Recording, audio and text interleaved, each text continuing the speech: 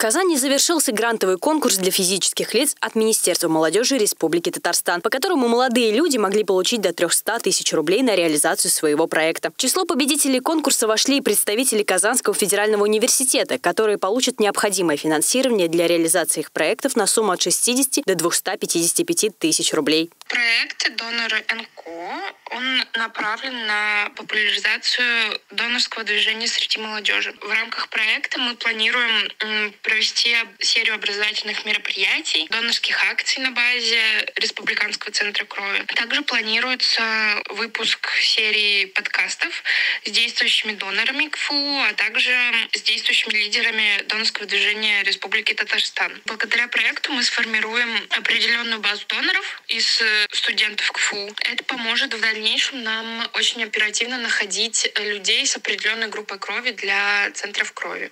Конкурс проходил по 14 номинациям. Творческие инициативы молодежи, инициатива молодежи по поддержке туризма, научные инициативы молодежи, карьера и профессиональная самореализация и другие. Также в этом году были добавлены три актуальные номинации. Инициативы, направленные на поддержку молодежи с инвалидностью и ограниченными возможностями здоровья, развитие механизмов оказания психологической помощи молодежи и социальное предпринимательство. Мой проект называется «Языковые курсы Legal Languages».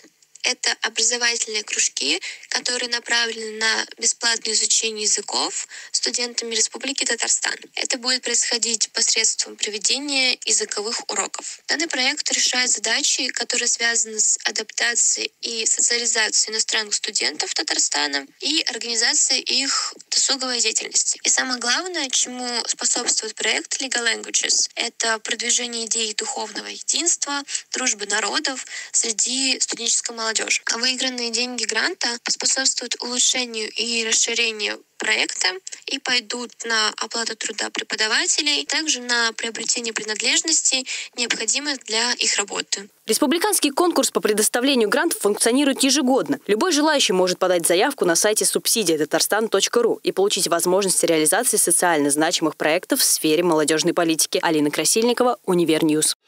Thank